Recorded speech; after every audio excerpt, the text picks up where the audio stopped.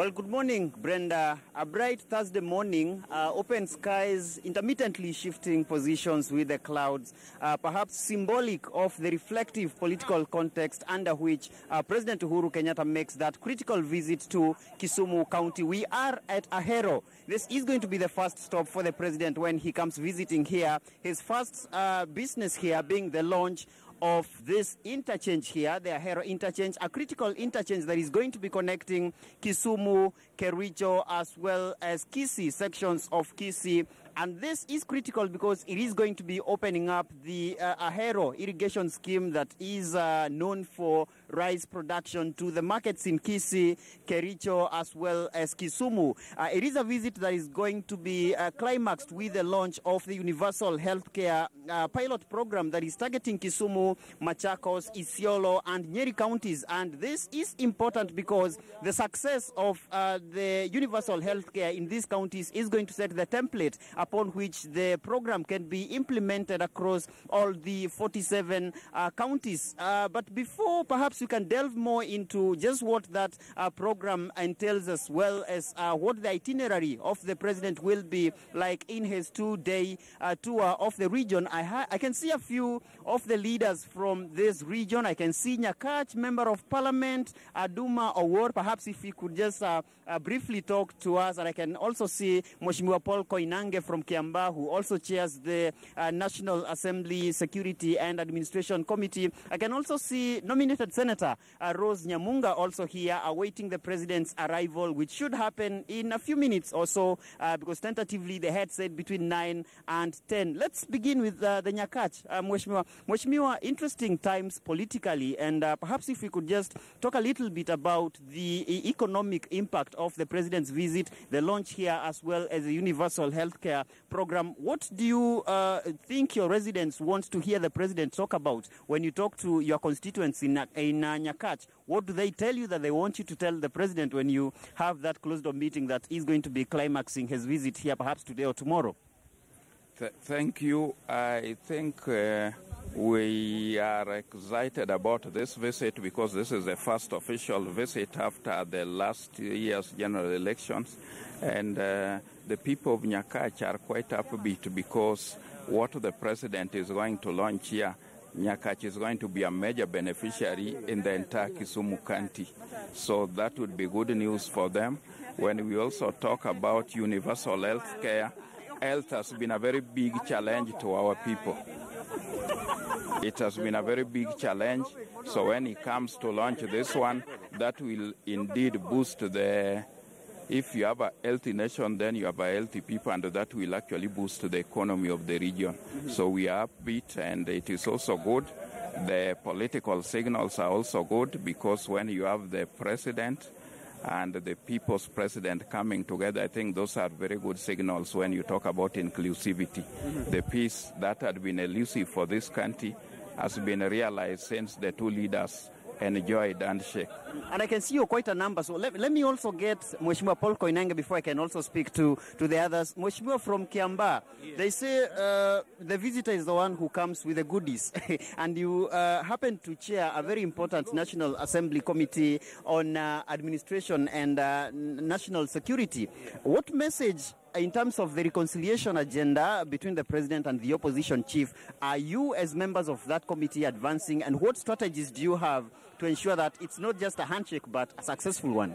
Yeah, I would like to say that uh, both the president and uh, uh, Honorable Raila, they're very serious about the change to come in this country. And I think it's uh, upon leaders to take it very seriously because change cannot come only by the ordinary wananchi, but it comes with us leaders. So they have told us as leaders to make sure that we speak to our people to know the change. And we are building bridges among people from different areas. As you can see where we are, to me is very exciting because when the road is done here, we are building bridge to other people. So it will be easy to visit other areas.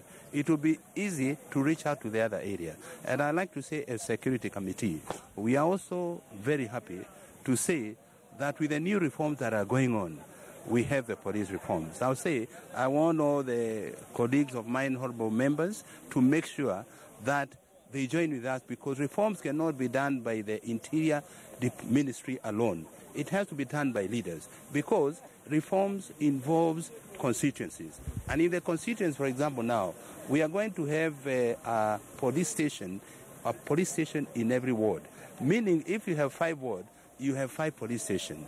Who is going to be the person to implement? It will be the member of parliament because the interior will not have that time to reach out to the people and organize. Through the CDF and the other amount, will be able to make security even more effective. And I'll say today that I'm here, I feel very proud as a Kenyan because Kenyans are coming closer to each other and the future of this country will come because apart from fighting corruption and fighting with the ethnicity which makes nation fall, leadership has come between Uhuru and Raila and this is the bright future for our nation. I can see you're quite a number. Let me talk to Mheshimiwa Koyo. Uh, perhaps as the president comes here today, we know that you, as the Nyanza leaders, were at the forefront in what came to be known as the resistance agenda against President Uhuru Kenyatta's re-election after the acrimonious 2017 polls. What message do you expect from uh, the president when he uh, comes here together with the opposition chief, uh, Raila Odinga? Th thank you very much. That was politics, which has been swept under the carpet, under the carpet. Uh, the president, the impression that was created or has been created, which we want to erase in the history of this country, is that there was President Uhuru Kenyatta was the president of this country minus Luo Nyanza. Uh, we want to make it abundantly clear that Luo Nyanza is part of Kenya we, under leadership of able leadership of President Uhuru Kenyatta. And that's the history we are creating today. We are very happy that this uh, has come in at this point in time these bridges we are building, we also need this kind of bridges and road networks that will to help those bridges uh, achieve their un, and, uh, expected aim. Otherwise, we are very grateful that the government, uh, President Uhuru Kenyatta is coming here. We leave the political angle for him to come and talk. Then maybe we can comment after that. I think that will be sufficient for President Uhuru and Kenyatta to give us the way forward. Otherwise, we are very grateful. We only want to remind him that this kind of uh, infrastructural development that is coming to create or to, to rather to launch were long overdue. They should have been done long time ago. This, this road is too important for any meaningful business. Just like another one called Muhoroni, uh, Mamboleo Road. Too important for any meaningful development in a particular area to be done. And for strange resource, it was neglected, and we only hope that the president will make positive comment or action, take positive action uh, about it. No, no. Otherwise, we want to welcome His Excellency the President and we hope that he will uh, make meaningful mention about the road I've talked about, the Muhoroni Mamboleo Road, and also something serious one, about the sugar industry, one, two, which is the back, which is the backbone two. of the economic uh, stay of this country. No, thank you so much, Mashua. Very, very briefly, perhaps, because I need to hand over back to the studio before uh, we can continue the conversation. Mheshimiwa, at the peak of the resistance agenda, you became synonymous Sound with that uh, very famous statement, wakiapisha tunaapisha. check. And sure you did. And uh, a few months later, the president is in your backyard. Uh, what, what, what, what do you want, he, to, want uh, to hear him talk about, given that you were among those that were at the forefront in the resistance of his second term? Well, I think uh, we, we are really, really, as you can see, we are here in full swing. The whole entire leadership of Nyanza is here, led by our, our own leader, um, the leader of, of NASA, Raila Amolo Odinga. Um, we are very, very excited at the prospects of the president uh, visiting us. Um, resist was resist. It was what it was. Uh, that was politics. Um, and that was that phase of politics. We are now in a new phase of politics, which is politics under the handshake. And this has fundamentally changed. Our politics in this region and in this country generally. The tranquility that has come with it is just uh, amazing. And we must thank and congratulate His Excellency Raila Amolo Odinga and His Excellency the President for that very bold step. And they have, all their supporters have fallen in line as far as the handshake is concerned. So with the President coming, uh, there are many, several uh, projects, including where, where, we are currently. Um, uh, we hope that he will speak to many others that touch the lives of our people. Uh, we hope that he will look at the issue of uh, the whole industry of boda boda and and uh, the motorcycle and the Probox industry and how to align because that is a major issue currently affecting our people here. But we also hope that he will talk about the Koru-Soin Dam to be able to manage the floods uh, that are perennial in this area, to be able to sort out the issue of water supply, to be able to sort out the irrigation issue. That is a game changer in this region. So it is our hope that the Koru-Soin Dam will be top in his agenda as well. No, thank you so much, Meshwa. I don't know how much time I still have. Perhaps I could get a quick one uh, from the woman representative for Kisumu as well as nominated senator. Uh, perhaps if I could start with you, uh, uh, very briefly, the Universal Healthcare uh, pilot program targets, among other counties, your county. Uh, what do you seek to gain from that program?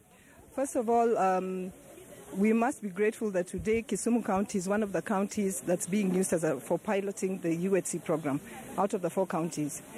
In most of our rural areas, there's a lot of pain when it comes to healthcare. And you know that women are charged with the responsibility of actually protecting their families. For many people, they are not able to reach or access hospitals. And if they do access dispensaries or hospitals, they do not have enough money to access medication. What universal healthcare is going to do is to enable even those vulnerable people in the rural areas to be able to have access to medication and therefore longer life. So to me, this is a big thing, especially for the women of this county. Thank you.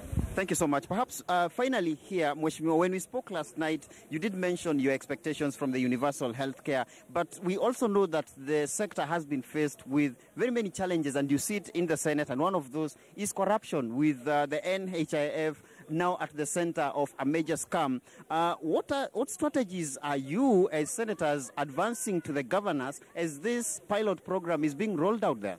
Yeah, in fact, the most important thing that we have made very clear is that we want to see the structures. You know, we don't just don't want to jump into rolling this universal health care out without, first of all, making sure that the structures are there and the structures which can be followed.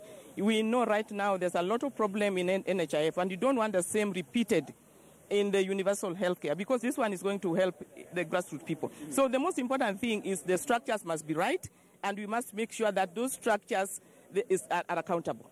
Yes, and we'll make sure that is done before it is rolled out. Thank you so much. It's a conversation we will continue to have for the better part of the day. Uh, Brenda, I will be taking you out uh, in a few to just show you uh, what the residents uh, are, are, up to as they await uh, the president's visit. Perhaps before I hand over back to you, we could just show you, uh, just, just give you a, a, a glimpse of what, what is happening here. And you can see a number of residents here in Ahero are already out uh, awaiting uh, that critical launch of the uh, Ahero interchange, which, as I said, is a critical interconnection between Kisumu, Kericho, and Kisii. Back to you, Brenda.